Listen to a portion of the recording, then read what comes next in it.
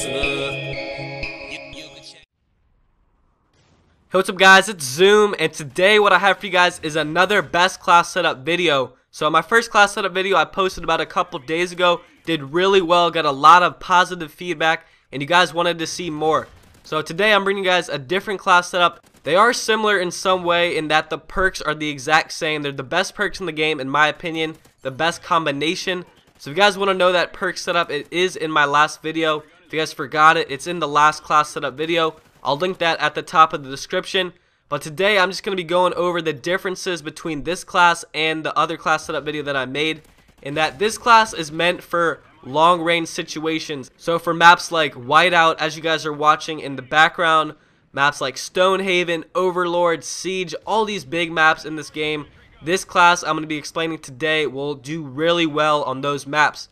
But the last class setup video I made is really meant for those short range maps like Strike Zone, and Warhawk. And that is the best class setup in Call of Duty Ghosts in this point in time, in my opinion.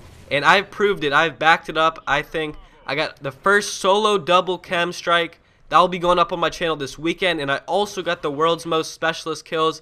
101 kills. That will be going up this weekend as well. So two insane gameplays with that Honey Badger class. So be sure to watch that if you missed that class setup video. But getting into this class setup video, this is meant for long range maps as I said before.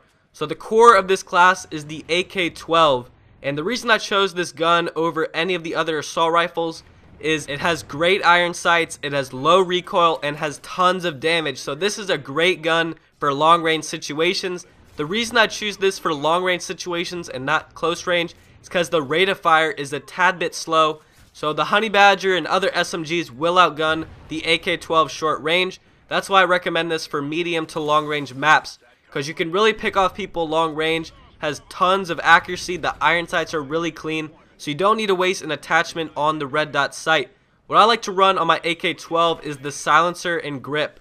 Silencer, I always run a silencer. There's no need to be on the radar. That's just a free kill for the enemy team. That's the way I look at it.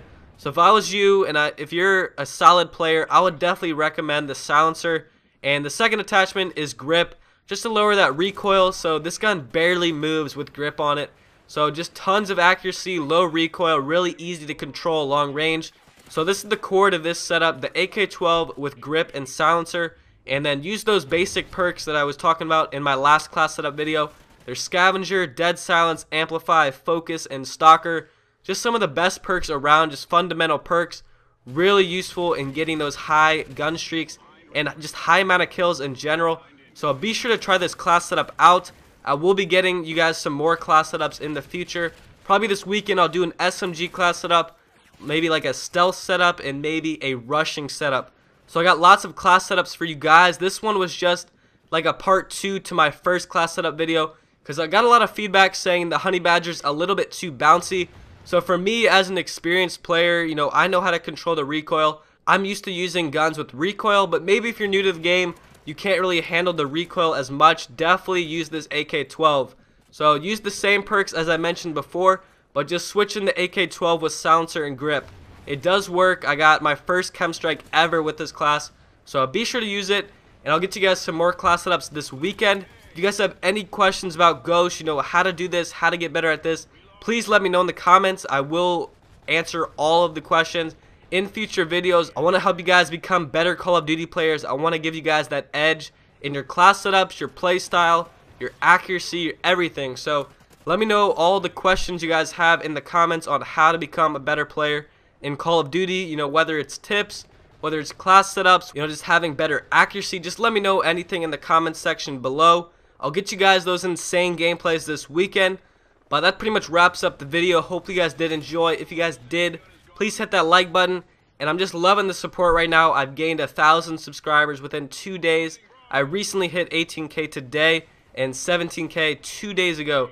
So crazy amount of support. I love it. Keep it up. I hope you guys enjoyed the video. Be sure to leave a like and subscribe if you're new. Alright, peace.